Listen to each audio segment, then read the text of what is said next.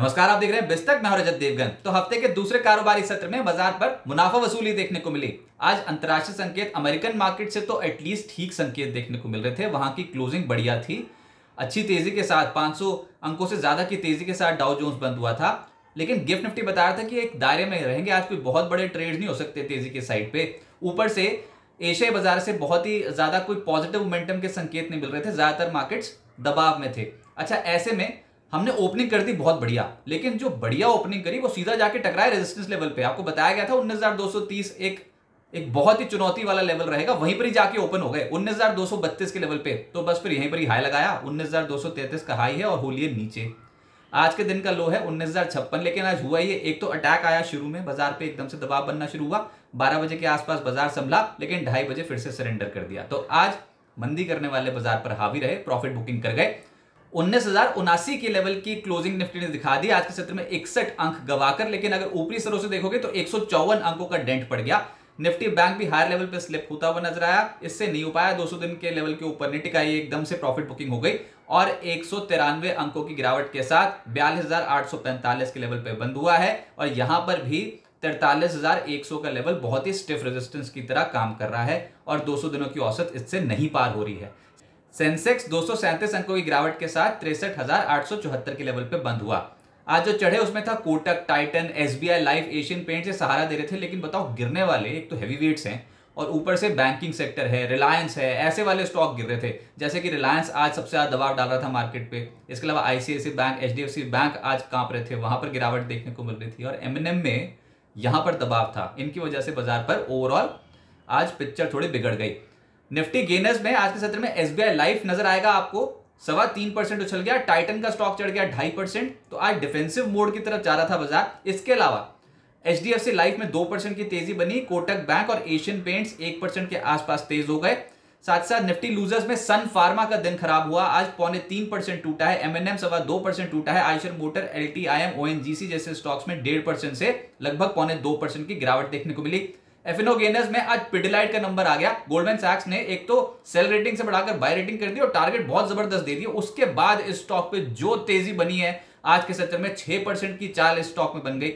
जी आज के सत्र में साढ़े तीन परसेंट चढ़ा है। सिटी यूनियन बैंक सवा तीन परसेंट चढ़ा। आरईसी लिमिटेड पीएफसी जैसे स्टॉक्स तीन परसेंट तेज होते हुए नज़र आए। एफिनो लूजर्स में सीमेंट्स लगभग तीन परसेंट टूटा है। इसके अलावा M N M Sun Pharma Muthoot Finance और साथ साथ आयशर मोटर्स जैसे स्टॉक्स आज ठंडे पड़ गए, दो परसेंट सवा दो परसेंट डेंट पड़ गया। मिड कैप्स की मार्केट है और बहुत सारे स्टॉक्स बाज़ार शुरू होते ही एकदम से एक्टिव हो जाते हैं। आज के सत्र में जो तेज़ी दिखा गए वो थे रेपको होम 10 परसेंट ऊपर अरविंद 10 परसेंट ऊपर N I T Limited 10 percent चढ़ गया एक्शन कंस्ट्रक्शन 9 परसेंट चढ़ गया।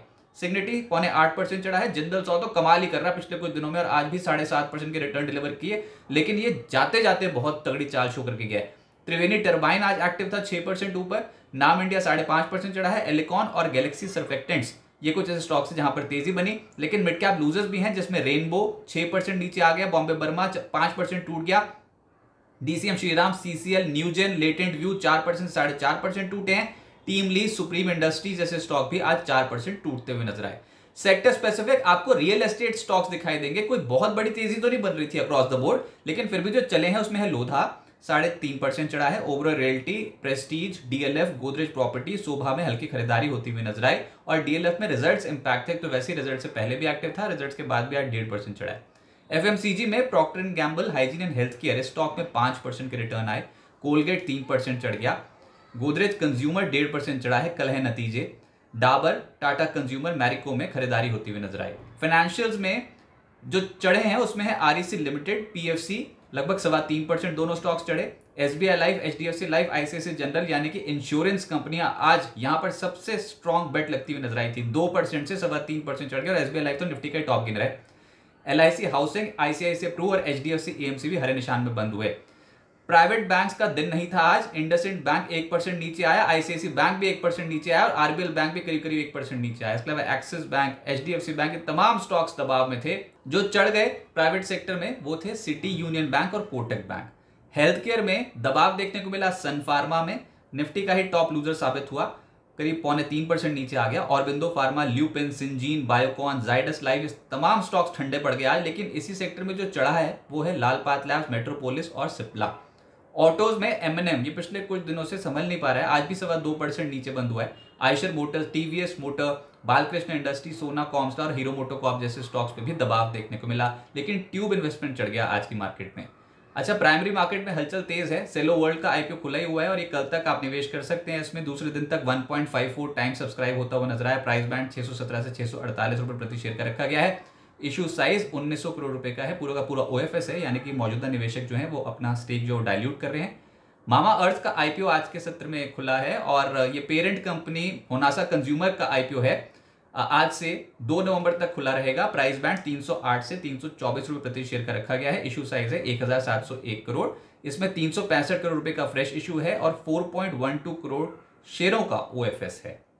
अब आगे क्या होगा? देखिए मार्केट इस समय एक रेंज में फंसा रहेगा, ऐसा लग रहा है। तो बाज़ार पे पेज फंस गया। अब हो ये रहा है कि ऑप्शन राइटर्स हावी रहेंगे। कल के सत्र में जैसे पुट राइटिंग देखने को मिल रही थी, उन्नीस हज़ार उन्नीस हज़ार एक सौ की पुट राइटर्स बहुत हैवी थे। आज ऊपर एकदम से जो बाज़ार एक स्टिफ रेजिस्टेंस पे आ गया उन्नीस हज़ार दो सौ तीस पे तो वहाँ पर उन्नीस दो सौ के कॉल राइटर्स बहुत जमकर खड़े हो गए। तो ये इससे ऊपर ले जाने नहीं देंगे अभी। उन्नीस एक सौ साठ का ही लेवल पहले तो पार करके दिखाओ। तो उन्नीस एक सौ साठ, उन्नीस दो सौ इन लेवल्स के आसपास रेजिस्टेंस मिलेगी। बियर्स बार बार इन लेवल्स को प्रोटेक्ट करने की कोशिश करेंगे। फ़िलहाल उन्नीस एक सौ पे ही बुल्स और बियर्स के बीच में तगड़ी टक्कर शुरू हो जाएगी। तो ये ऑप्शन राइटर्स वाली मार्केट है। यहाँ पर ना प्रीमियम्स खाने की कोशिश होगी। बाज़ार कंसोलिडेशन मोड पे चले जाएगा और यही बाज़ार के लिए ठीक भी है, क्योंकि बहुत हैवी फॉल देखी थी। अब अगर यहाँ पर कंसोलिडेशन कर जाते हैं और उसके बाद धीरे धीरे करके पिकअप करना शुरू करते हैं इंपॉर्टेंट एवरेजेस ऊपर की साइड जाना शुरू करती हैं तो जाके कुछ हिम्मत पड़ेगी बुल्स की। लेकिन अभी ऐसा लग रहा है कि बाज़ार एक कंसोलिडेशन फ़ेज़ पे आ जाएगा। आज 19,230 का लेवल एक बहुत ही स्टिफ रेजिस्टेंस साबित हुआ है। 19,200 के लेवल पे जैसे मैंने बताया कि कॉल राइटिंग बढ़ गई है। 19,000 के पास जितना जाएँगे तब बुल्स पकड़ मज़बूत करने की कोशिश करेंगे क्योंकि दिखता है 19,000 के पुट में भी राइटिंग दिखती है। तो 19,000 के करीब फिर से बुल्स पकड़ मज़बूत करनी शुरू करेंगे और ऊपर 19,160 19,200 के ऊपर नहीं जाने देंगे बियर्स ऐसा लग रहा है। ये एक रेजिस्टेंस फ़िलहाल के लिए बनता हुआ नज़र आएगा। कुछ ट्रिगर्स है मार्केट के लिए एक तो ऑटोज ऑटोज में करेक्शन हुई है ना हाल फ़िलहाल में लेकिन अब अक्टूबर महीने की बिक्री आंकड़ों पर फोकस चला जाएगा। और ऊपर से सबसे बड़ा ट्रिगर जो मार्केट के पास है वो अमेरिकन इकोनॉमी से आएगा।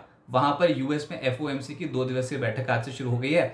बुधवार को भारत के समय अनुसार देर रात को फैसला आएगा कि ब्याज दरें वहाँ पर बढ़ती हैं कि नहीं। हालाँकि कोई चांस नहीं है, ब्याज दरों में कोई भी छेड़छाड़ नहीं होगा इस बार, लेकिन कमेंट्री बहुत इंपॉर्टेंट होगी यूएस फेड चेयर की। तो देखते हैं कि वो आने वाले समय के लिए जीडीपी पे, इन्फ्लेशन पे और ब्याज दरों पे क्या आउटलुक देते हैं। तो वो बहुत बहुत क्लोजली ट्रैक हो रहा है। अमेरिकन मार्केट भी हिचकोले खाएँगे वेडनेसडे को। और जब गुरुवार को हमारी निफ्टी की जब एक्सपायरी होगी वीकली एक्सपायरी तो उसके बाद हमारे मार्केट्स भी झूल रहे होंगे। तो ये वाला जो इवेंट होगा, ये इस समय मार्केट्स में बहुत क्लोजली ट्रैक हो रहा है। नतीजे जो हैं, अब कल के सत्र में आप देखो Britannia Hero MotoCorp Sun pharma Tata steel तमाम निफ्टी कंपनियों के नतीजे। इसके अलावा जो बहुत इंपॉर्टेंट नतीजे है बाकी में, वो है Ambuja cement Godrej consumer India cement LIC housing REC limited तो अभी तो आप ये समझो कि बाज़ार नीचे कहीं ना कहीं उन्नीस के आसपास सपोर्ट लेने की कोशिश करेंगे। और ऊपर हायर साइड पे उन्नीस हज़ार दो सौ उन्नीस हज़ार दो सौ बीस के आसपास रेजिस्टेंस बनता हुआ नज़र बिस्तक आपके लिए लाया है प्रीमियम मेंबरशिप प्रोग्राम जहाँ आपको मिलेंगे कई सारे फ़ायदे। जिनमें मार्केट न्यूज़लेटर, लाइव चैट पर आपके सवालों के सबसे पहले जवाब मार्केट आउटलुक वीकेंड पर मार्केट स्कैन एंकर्स के साथ चैट और भी बहुत कुछ। इस प्रीमियम सब्सक्रिप्शन में तीन तरह के प्लान हैं सिल्वर गोल्ड और प्लैटिनम जिनकी शुरुआत मात्र एक रुपए महीने से होती है। इससे जुड़ना भी बेहद आसान है। बिस्तक के यूट्यूब चैनल पर जाएँ, ज्वाइन बटन पर क्लिक करें और अपना प्लान सिलेक्ट करें। बस बन गए आप हमारे प्रीमियम मेंबर